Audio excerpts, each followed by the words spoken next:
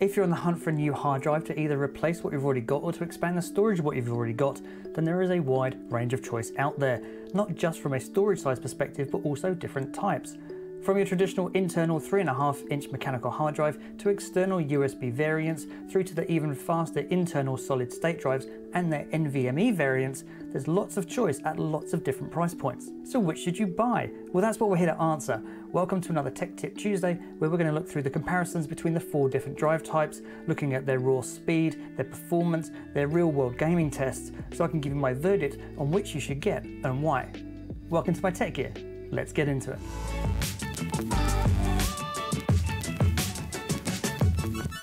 The four different drive types we will be testing here is for the internal hard drive we will be using the Western Digital Black 4TB model. For the external hard drive we will be using the Seagate OneTouch 4TB model.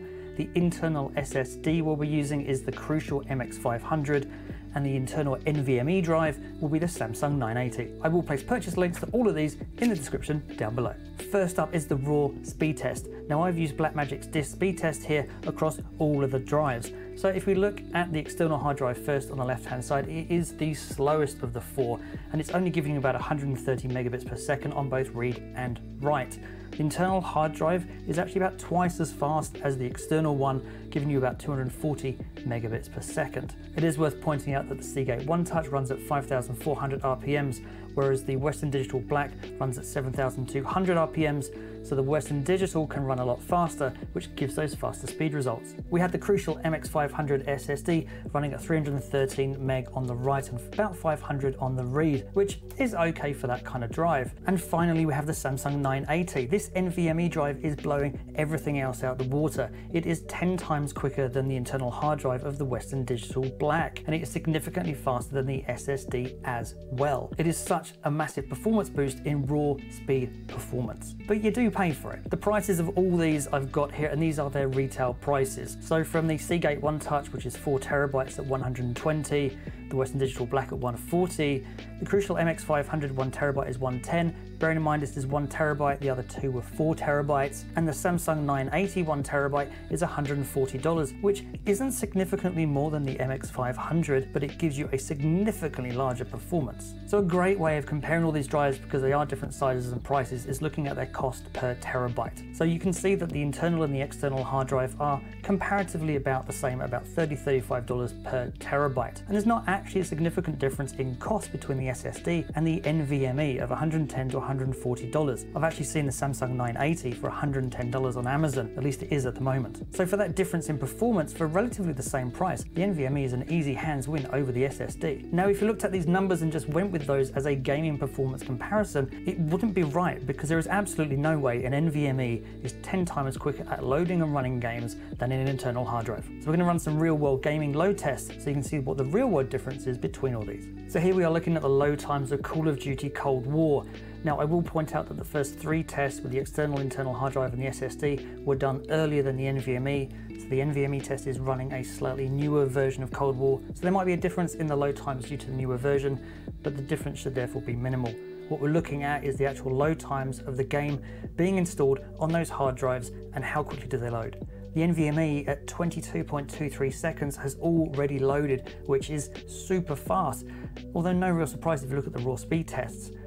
And now if you look at the SSD, well that's taken significantly longer as it eventually come in at 35 seconds, 0.12. The internal hard drive actually wasn't too far behind the SSD at 38.43. The external hard drive backs up the rear with 41.56 seconds. Now the order within which they came should come as no surprise as we all know which one was quicker, but I think what is surprising is the difference, especially between the internal hard drive and the SSD, where we know the read times of the SSD is significantly quicker than the internal hard drive. So you've got to wait about another 20 seconds for a game to load between the NVMe and the external hard drive. This is but one game though, so we're going to try another one just to prove that it isn't just a fluke and see if there is a trend here. So what we are looking at now is the load times of control from the Xbox Game Pass store on the PC.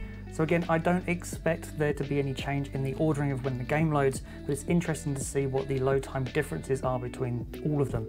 As I said, if you looked at it at raw speed time, NVMe should be, well, probably loaded by now, and everything else will take forever. But again, it's not always that simple. And some games do take longer to load than others, so it's really good to be able to take a couple of different tests we can see the differences between the two. What's really surprised me is that the cost difference between the external and internal hard drive isn't actually that much of a difference anymore, and it used to be. And SSDs and NVMEs are getting closer and closer. And here you can see the NVMe has taken 37.4 seconds, with the SSD taking 41. So the SSD is only about 3-4 seconds behind the NVMe loading.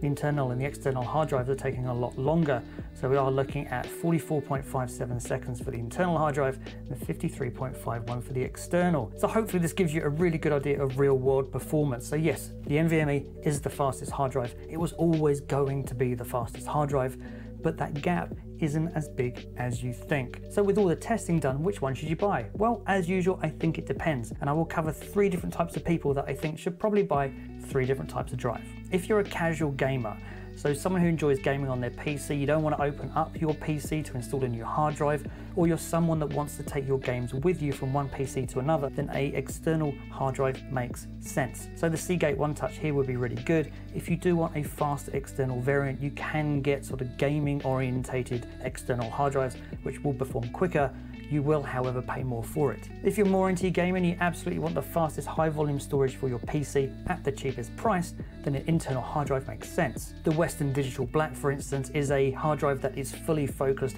on gaming and giving you the fastest performance that you can it does run loud though, so it's something to bear in mind. Now, if you're a media buff, you've got large volumes of videos and stuff like that, and you don't need fast access to it, then a large external hard drive makes sense. And also take it out with you if you need to take your videos around a mate's house or transfer them to a different PC. If you can only afford a single hard drive for your PC and you consume any form of media or gaming, then an internal mechanical hard drive at mass volumes makes sense. 4 terabytes, 8 terabytes, anything like that, because that volume is going to be used up pretty quick. If you are a media creator who wants the fastest access to maybe one or two games or the media that you're accessing right at the moment, such as myself, then I would say get both. Get a large volume secondary device for the media and games that you consume less, and then you can get an internal NVMe drive as well, preferably one terabyte or higher, which will give you enough space for your operating system and also the media and games that you are immediately needing access to. I hope that has helped you understand the differences between the different media types and help you decide